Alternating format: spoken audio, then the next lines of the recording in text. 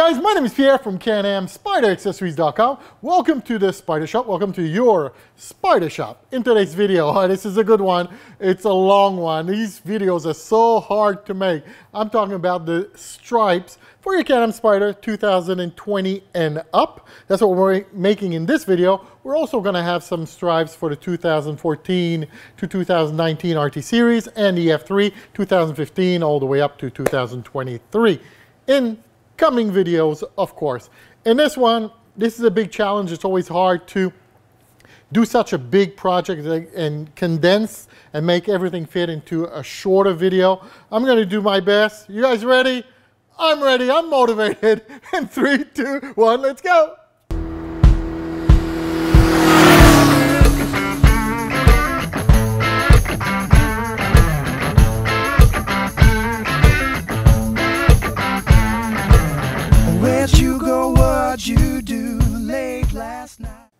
I really picked a good day to do this project. It is not nice outside, 90 to 100% rain all day today. Show you what it looks like outside the Spyder Shop.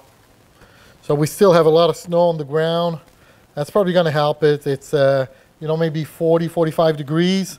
So, you know, with the rain, let's hope that it's gonna melt some of this snow away.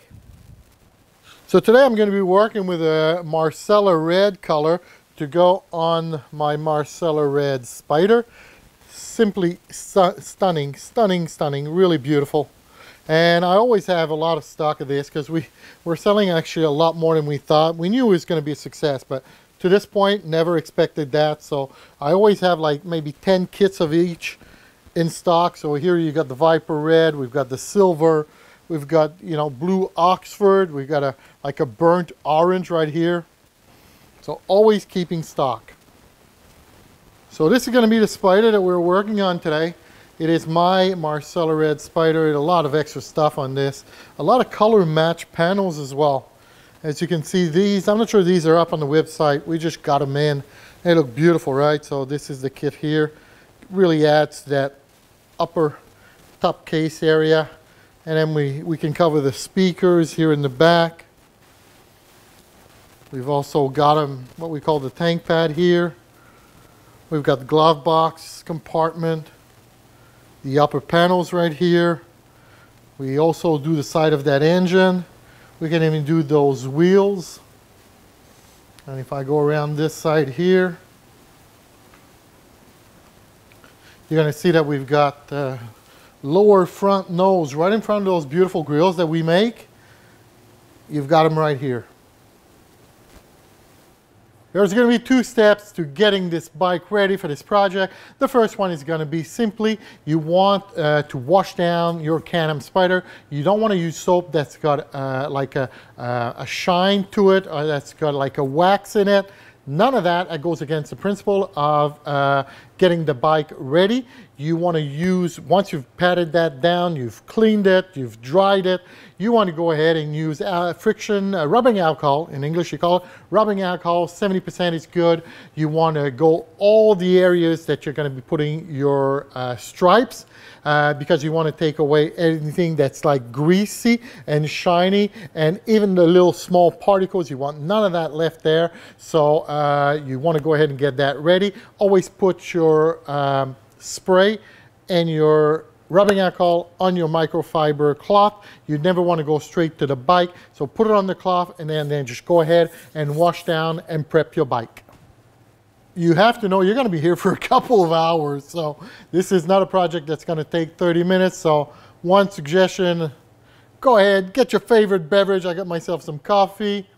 Open up a beer, whatever you like there, whatever you fancy. We're going to be here for a while.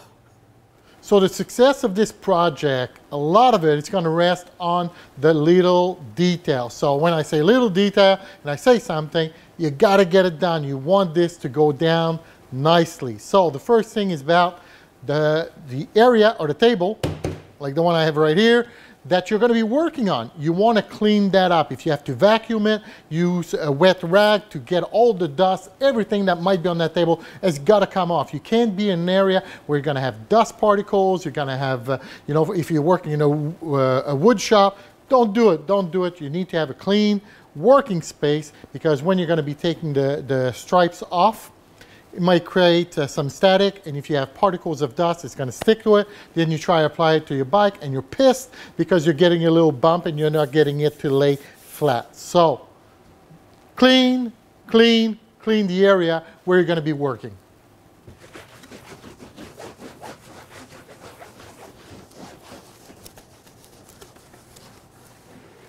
The whole bike can be done without removing any panels, but there's one panel, the first one, the first piece that we're going to do, that I like to remove and simply work on my bench, make sure that everything I do is going to start off really straight. It's this panel right here. To be able to remove this panel, you're going to turn your key, you're to lift up that seat. We're going to pull it three different places. Now the first one is where the yellow and black sticker is. There's a little place where you can get your fingers right behind it, and this is where we're going to pull.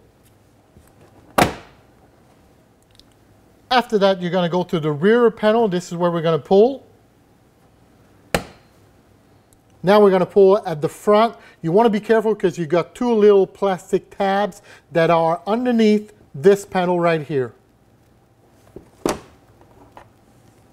I know you've used your rubbing alcohol, you've already cleaned down your bike, but you may have particles that are flying around there if you've got the windows open and you got air circulating. So every time you're going to do a piece, you're going to use rubbing alcohol and you're going to do it again.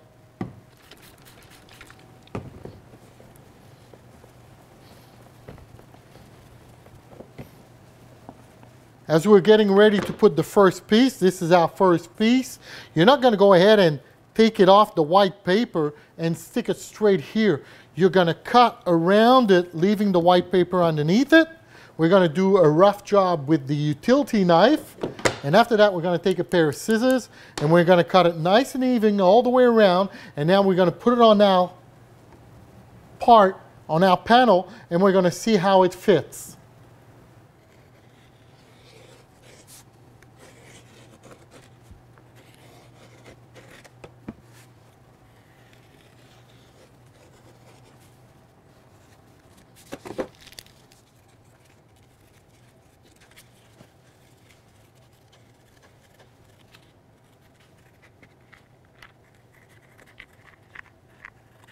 So what you're looking for when you finished up with the scissors is to leave a little bit of white paper all the way around like this, a couple of millimeters, maybe about, you know, 1 16th of an inch to 1 8th of an inch.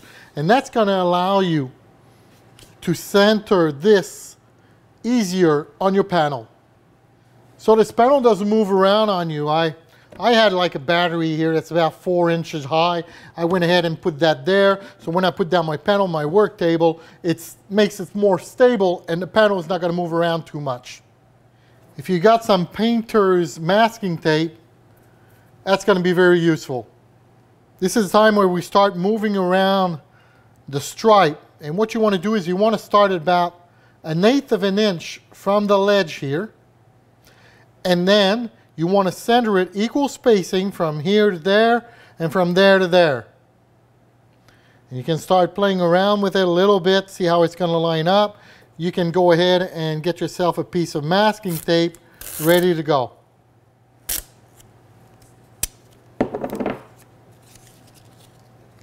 Once you got your spacing here to there, you're happy with that, follow the stripe all the way down to the back here and if that's center and that looks good to your eye, now here's the time where you're going to use this masking tape and just make sure nothing moves.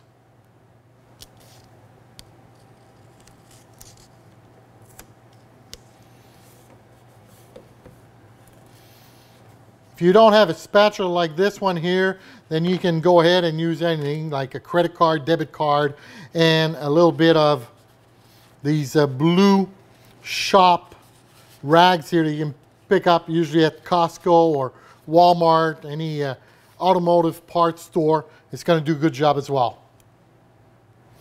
I've put another piece of masking tape here, leaving me with a smaller part to work with, which is going to make things a lot easier.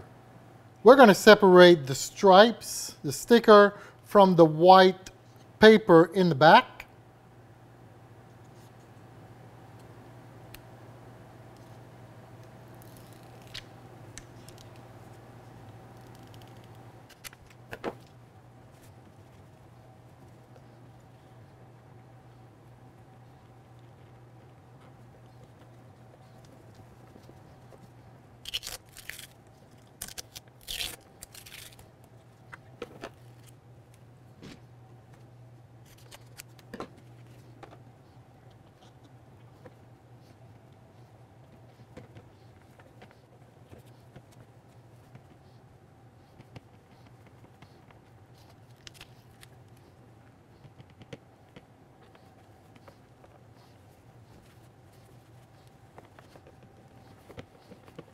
We're going to do the installation of this small piece right here.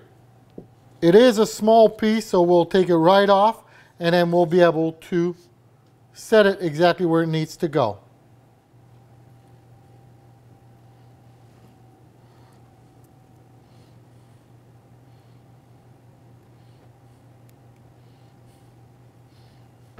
Same thing for this one. We're going to take it right off and install it right here.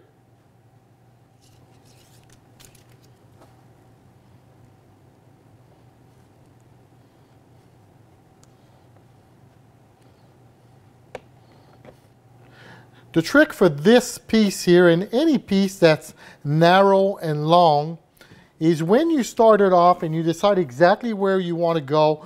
Let's say here I've got a half an inch between here and there. So I push down my corner as I'm stretching out this piece. It's like a carpet that you're unrolling, right? I'm always looking on the left hand side, not looking on the right hand side. I'm looking here so I can keep that half inch spacing all the way through. For this stripe here, we're going to line ourselves up with this line right there. And then we're going to look at the spacing we have from there to there. And then we're going to keep that spacing as we're going forward with that stripe.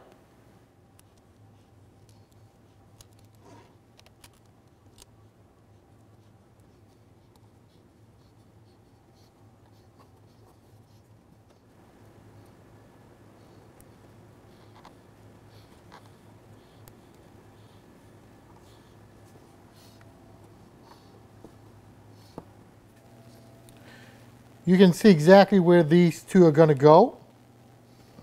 And I'm going to start off by doing the red one and going to do the black and gray one straight after.